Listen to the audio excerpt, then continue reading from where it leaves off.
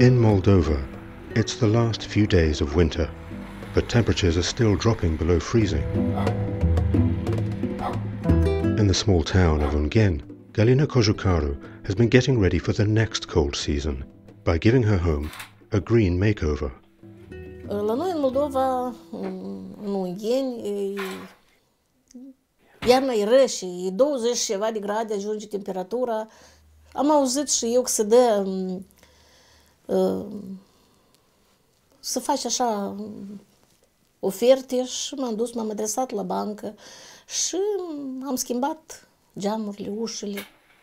This warmer, more comfortable home for Galina and her family is thanks to the EBRD's Moldovan Residential Energy Efficiency Financing Facility.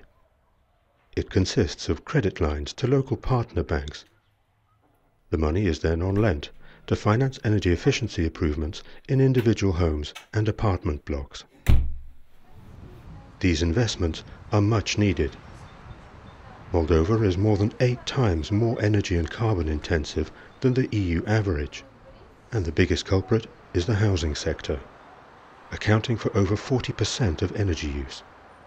Many buildings in the capital Chisinau date from Soviet times, and they weren't built with saving energy in mind, so the challenge is huge, and now's the time to prepare for next winter. This ex-communal block of flats is now owned by the municipality and former council tenants. It's being upgraded by a developer, Dumitru Rusu, who obtained a loan to extend the flats and make them more energy efficient. In return, he was allowed to build another floor on top, which he can sell off to finance the energy efficiency upgrade. Multe companii din uh, Chișinău au luat ca exemplu această reconstrucție uh, pentru a da un alt aspect uh, noilor, noilor clădiri reconstruite, un aspect nou și o economie eficientă de căldură. Maria Accenti is part of the EBRD consultants team.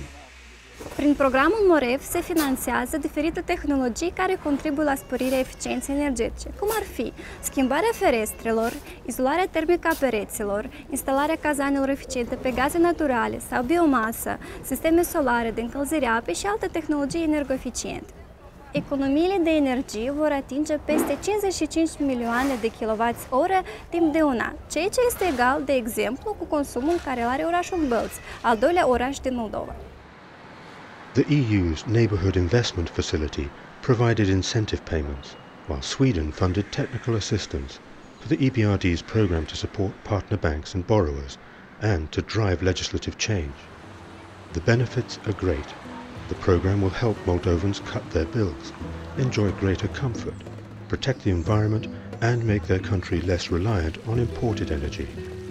It's a game-changing move, helping prepare the way to a sustainable future for the next generation.